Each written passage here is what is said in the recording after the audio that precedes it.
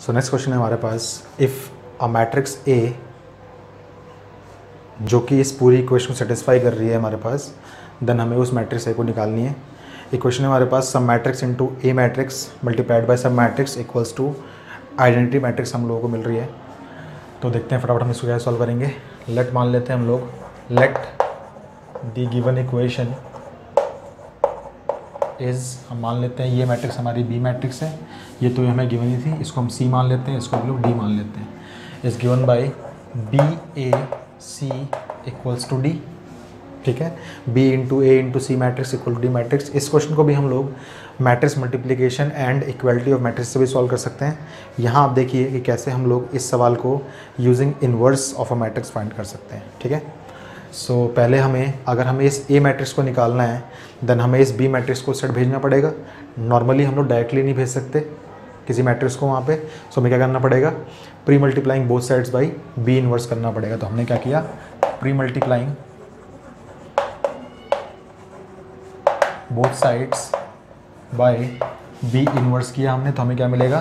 B inverse into A C should be equals to B inverse D okay B inverse into B भी था हमारे पास यहाँ पे। So B inverse into B बन जाएगा आइडेंटिटी मैट्रिक्स आइडेंटिटी मैट्रिक्स को मल्टीप्लाई करेंगे किसी मैट्रिक्स के साथ सो हमें वो मैट्रिक्स ही मिल जाएगी equals to B inverse and D now अगर हमें यहाँ पे ए मैट्रिक्स अकेली चाहिए देन हमें सी को हटाना पड़ेगा यहाँ पे। अगर हम यहाँ पे pre multiplying by C inverse करते हैं तो ये सी कैंसिल आउट जल्दी हो नहीं पाएगा, ठीक है? सो हमें क्या करना पड़ेगा यहाँ पे? पोस्ट मल्टीप्लाइंग करना पड़ेगा। तो हम क्या लिखेंगे यहाँ पे? Post multiplying C inverse both sides तो हमें क्या मिलेगा?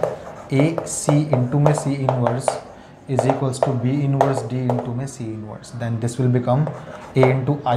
I is what? I को मत लिखिए आप लोग यहाँ पे? एंड ये हो जाएगा b inverse, d into में c inverse.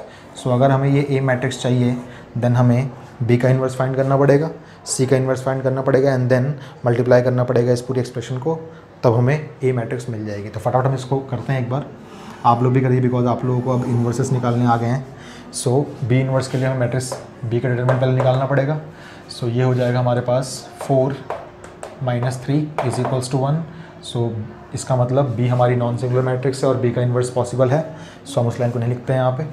अब डायरेक्टली निकालते हैं हम लोग यहाँ पे adjoint of B adjoint of B क्या हो जाएगा? एट जॉइंट ऑफ़ बी हो जाएगा आप लोगों का। टू बाई टू मैट्रिक्स का एडजॉइंट निकालना बहुत आसान है। इन दोनों एलिमेंट्स को चेंज कीजिए। एंड इन दोनों का साइन चेंज कीजिए। ठीक है? तो बी का इन्वर्स क्या हो जाएगा? वो हो जाएगा वन अपॉन वन मत लिखिए उस चीज़ को। ये हो जाएगा two minus one minus three and two okay now determinant of C निकालते हैं हम लोग। डिटर्मिनेंट ऑफ़ सी कैसे निकलेगा? This into this is nine minus this into this is ten so ये हो जाएगा minus one again non singular matrix है। इन्वर्स पॉसिबल है। नाउ फटाफट हम लोग एडजॉइंट ऑफ़ सी को भी निकाल लेते हैं। सो ये हमारे पास कितना आएगा? ये आएगा हमारे पास इन दोनों एलिमेंट्स को इंटरचेंज कर दिया हम लोगों ने और इन दोनों के साइन को चेंज कर दिया। माइनस फाइव सी का इन्वर्स क्या हो जाएगा? वो हो जाएगा one upon minus one and minus three minus two minus five and minus three I can write it again as three two five three तो सी का इन्वर्स हमारे पास ये आ गया। नाउ अब हमें निकालना है यहाँ पे ए मैट्रिक्स ए मैट्रिक्स की इक्वेशन थी हमारे पास। B inverse into D into में C inverse so B inverse है हमारे पास two minus one and then minus three and two D matrix है हमारे पास one zero zero one and C inverse है हमारे पास three two five three now कोई matrix into identity matrix जो होती है, वही मैट्रिक्स होती है सो ये हो जाएगा हमारे पास two minus one minus three two multiplied by three two and five three so this will give us इसको हमें सॉल्व करना पड़ेगा। देन ये हमारे पास सॉल्व होके आएगा।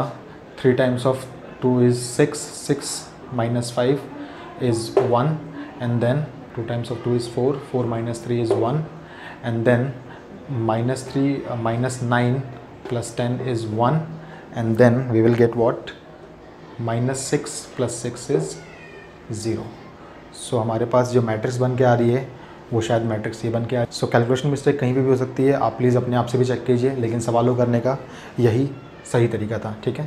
सो so, ये हमारे पास रिक्वायर्ड सॉल्यूशन है इस क्वेश्चन का। इसको प्लीज़ आप लोग नोट डाउन कर लीजिए।